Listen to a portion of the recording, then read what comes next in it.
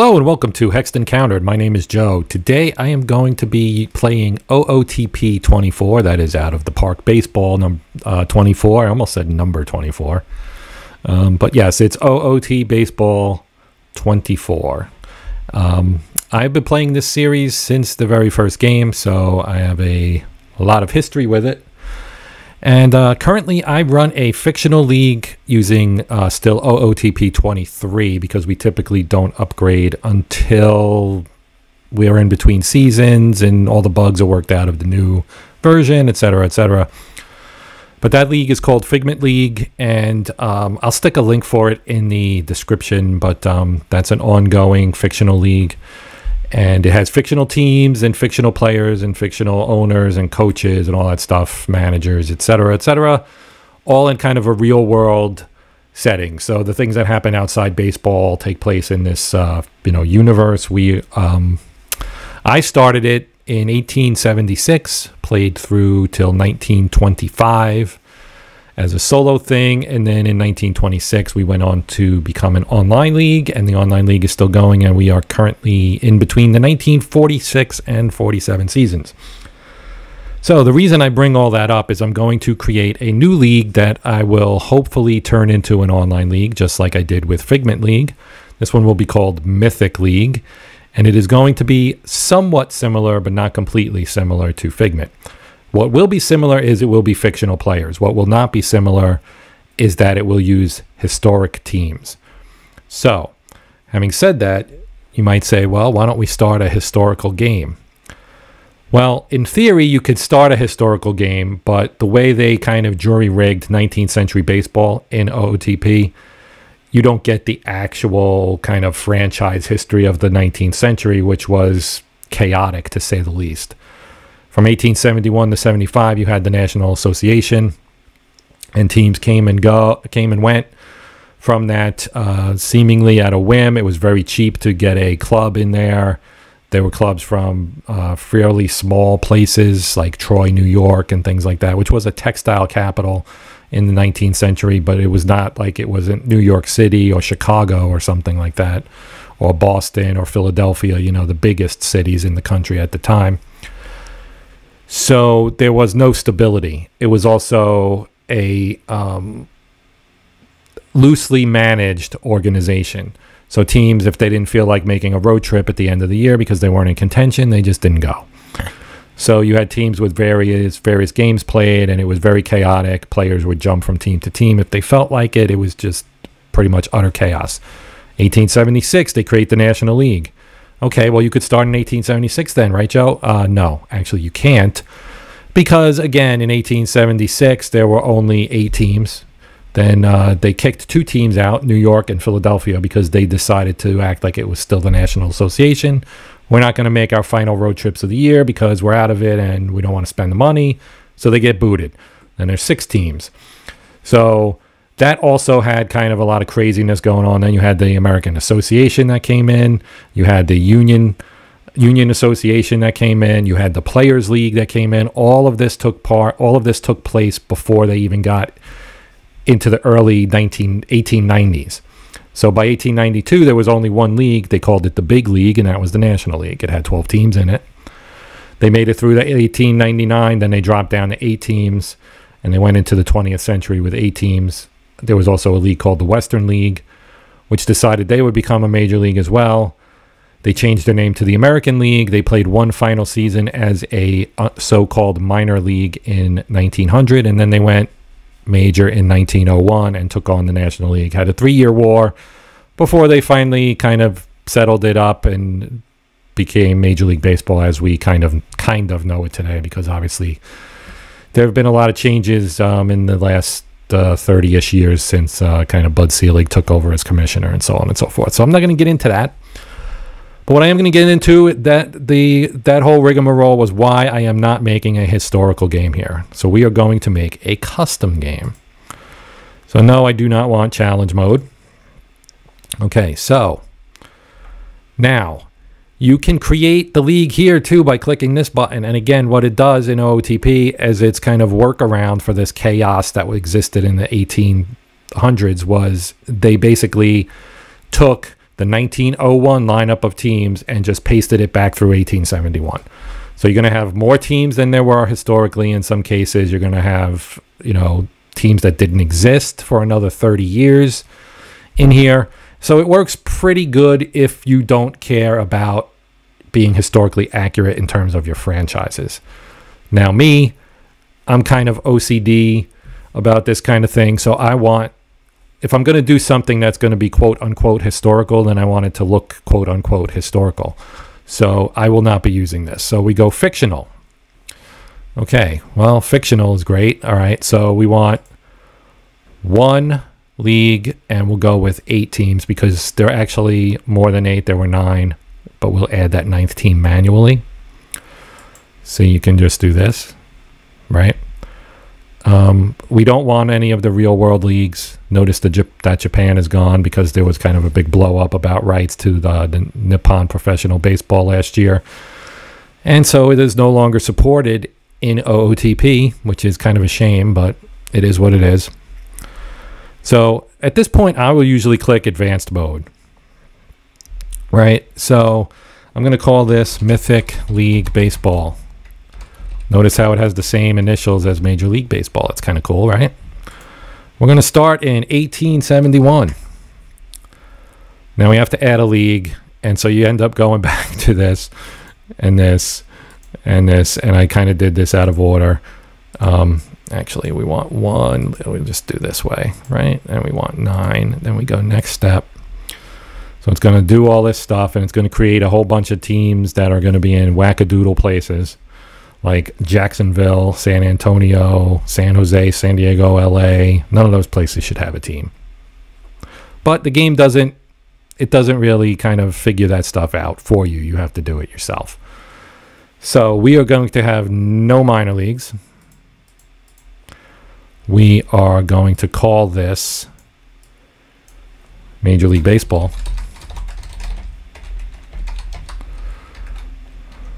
MLB. Then we're going to call this the National Association. Whoops, spelling is fundamental. I'm going to call this the National Association. Now we have our teams. The Brooklyn Steelers. I don't think so. I'm going to paste. I'm going to enter the actual teams that existed in 1871, starting with the Boston Red Stockings. So this is the team that is now the Braves there were two teams that actually started in 1871 and made it all the way through. Now, MLB does not recognize the 1871 to 75 era because that was the National Association and not the National League. But, point of fact, the Boston Red, Sto- Red Stockings and the Chicago White Stockings joined the National League and became ultimately, through uh, several different uh, nickname changes, the Chicago Cubs and the Boston Braves, who obviously went to Milwaukee and then went to Atlanta and are now the Atlanta Braves. So the the abbreviation is always an interesting one, right? So if you want to follow kind of the you know the the the history of the game, then you would want to use the actual the actual abbreviation. I actually don't know it off the top of my head. Um, if you follow like the Lahman database format. There is one, and I can look it up, and I will look it up, but I'm not going to do it right now. Um, then we'll go with the Chicago White Stockings. So our team one and team two will be the teams that are going to make it through ultimately all the way up to current day. And then we have teams that did not make it. The Cleveland Forest Cities. And I'm just going to give them basic uh, abbreviations right now. The Fort Wayne Kekiongas. Yes, indeed. The New York Mutuals. Sounds like an insurance company. Hey, New York Mets. No, sorry. Uh, Philadelphia Athletics. And I couldn't, and whoops. Sorry about that. Hit the wrong key there. No, did it again. All right. P H I L A D E L P H I A, Philadelphia Athletics, PHA. Uh, Rockford Forest Cities. You think they would have come up with something a little bit more unique than, uh, you know, ripping off Cleveland or vice versa? Who knows who had it first? I don't. There's Troy, the Troy Haymakers. And the Washington Olympics, the first of many teams to give it a go in the nation's capital and ultimately fail. All right, so we've got that set. We're going to go uh, next step. We definitely don't want the 2023 settings. So we're going to go all the way to the bottom. Very first year. And we will adjust strategy when advancing to the new year. I am not going to hold an inaugural fantasy draft. I honestly don't care who goes on what team or anything like that. We're just gonna we're just gonna make do here. Now season start date. This is gonna be a little interesting. So when did the 1871 season start? Well, in fact, it started on May 4th. So we're gonna go with May 4, and again, not 2023. Uh, and yeah, it's not 162 games. It was something like uh, 28 30. I'm looking at the looking to see who played the most games. It looks like the Boston Red Stockings played 30 games. Uh, 31 actually. New York played 33. Washington played 32. Some of them were obviously ties because their win loss record doesn't add up to those numbers.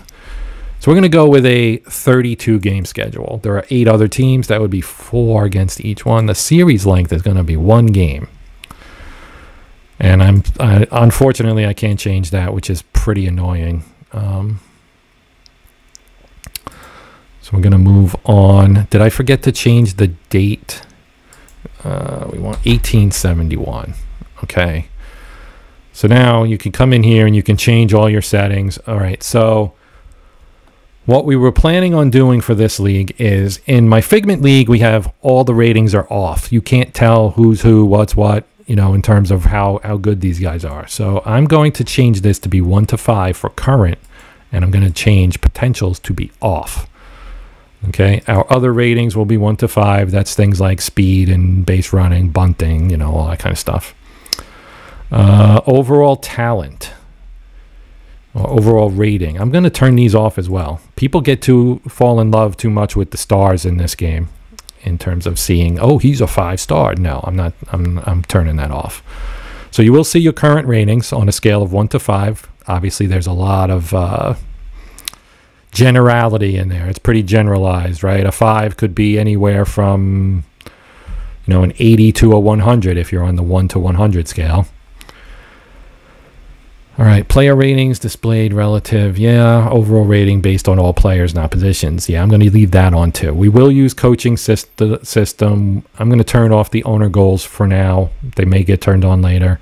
The nice thing is in this game, you can tweak almost everything after you you start playing. Not literally everything, but there is a lot of customization you can do even after you start your league.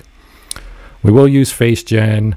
We will have injuries. We'll use the normal OOTP Classic.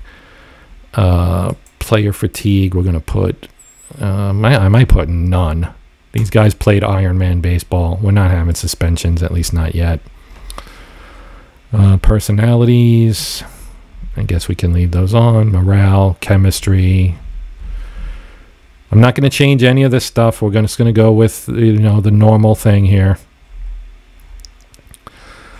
And all right, then we'll come back to here. We have our teams, they're all lined up, our rules. Okay, so roster size. Um, we definitely don't want 26 players. And I'm going to put the, the reserve roster to 15 because there were no minor leagues. So the rosters were small. I'm turning all these down as small as I can get them basically. Um, no age limits. The batter injured. I always set this to 14 because it allows me to do a sim of a week at a time. And I always think it, I'm always thinking ahead to my online league. When I set up an online league, we do one week sims. That's how I that's how I run my stuff. One week at a time, one week per day, um, Monday through Friday. So I want to make sure that I get that in there now rather than have to worry about it later Because the theory with this one is I'm going to do 1871 to 1900 and get through all that wackadoodle 19th century stuff solo and update it. And I'll probably put it on the OOTP Dynasty or League Forum, uh, League Forum. And maybe I'll do videos too, just to kind of update along the way so you can see how things develop. But ultimately, this is going to turn into an online league. We'll leave the 60 day extended DL. Trading, eh, I don't know that we need trading. Um, yeah, we don't need this for now for sure. Trading of recently drafted. Well, we don't want this on. Um, it can be immediate. I'm I'm not even going to have a draft, to be honest. We're turning that off for now. All right, then we go financials. So we want to go again early. Whoops, early, early. Right? Mass adjust. We don't need to do that right now. So we've set everything to be basically dirt cheap, is what we've done. Ticket price baseline 17 cents. Uh, I think they charged, well, I don't know what they charged in the National Association. The National League, I believe, charged a quarter or 50 cents or something like that. So a little bit more expensive, but that's also a few years down the road. Um, the financial system, we'll leave that on. We are going to have reserve clause rules. Uh, what else do we have in here? Revenue sharing, all this stuff. I kind of leave this alone because it doesn't really have much impact. I'll turn the, the luxury tax off. A lot of this stuff doesn't have any real impact. And we'll go to options. We're going to leave that off. Allow rainouts, I guess, for now. I'll probably turn that off when we go to online league because it tends to annoy the GMs. We're not going to force a start. We're not going to do any of this. I'm going to use a custom schedule and I'll set that up later, probably in the second video. Uh, spring training, nope. No spring training. No all-star game. Uh, we're going to disable the playoffs. We're not going to play tiebreaker games. We're not going to have automatic evolution. We will do this. We will do this. Uh, we will do that. Nope. Uh, yes. Creation modifiers, yes. Not real rookies. Um, okay. Then I'm going to turn off all my awards because we don't have any any awards yet. Now this is just for historical accuracy. They weren't picking MVPs in 1871. And they didn't have a Cy Young award. They didn't have a Hall of Fame. The milestone stuff can stay. Players default player origin. I want, uh, where is it? It's under functions. Reset to 100% League Nation. 99% and 1% from random. That's fine. I'm going to do a lot of heavy tweaking of where people come from. We're going to have uh, none. We're going to have none. We're going to have none. And we're going to have none. A lot of turning things off in here for this. Stats, we're going to go very high. We're going to go with, again, 1871, which is probably already in here, but just to make sure, we will make sure, right? And it's a one-man rotation. Number of relievers, zero. Number of relievers, zero. Uh, hook for starting, very slow. Very slow. Use of relievers, very rarely. Closers, stamina, very high.